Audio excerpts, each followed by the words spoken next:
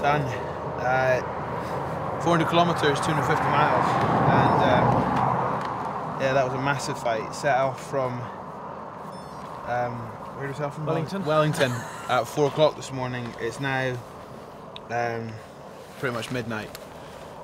So um, yeah, well over 3,000 meters climbing, and for yeah the first part of the day had a bit of a stiff headwind. It, it was absolutely a beautiful day, dry and I some stunning scenery, but seriously punchy.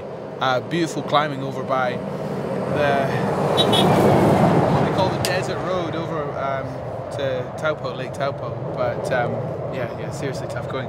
I had a bit of a rubbish start this morning. Uh, coming out of Wellington, I was about two hours into the ride, and I um, I just didn't see a, a lip of tarmac in the dark, and um, the yeah the bike just skidded out, and I went skitting across the road.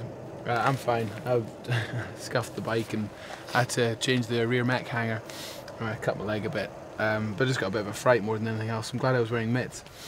But uh, second tumble of the trip, and uh, both happened early in the morning in the dark on slightly wet roads.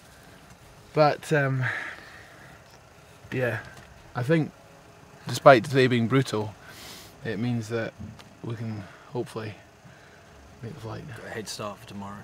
Yeah. Yeah. Just what's left? Um, I think now it'll be 150 miles. 150 miles. Mm. So the plan is to get an early evening flight, and um, so I'll get about three hours sleep, um, three and a half maybe, no three.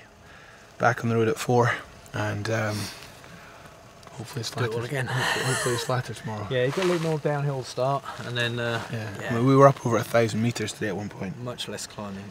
Massive. I feel like everyone was suffering today after yesterday, so yeah, all good. Good effort.